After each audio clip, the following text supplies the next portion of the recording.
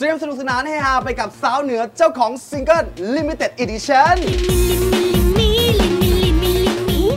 พร้อมของร้านสุดเก๋ที่ limited limited สุด True Fantasia Together เสาร์นี้ห้ามพลาดนะจ๊ะ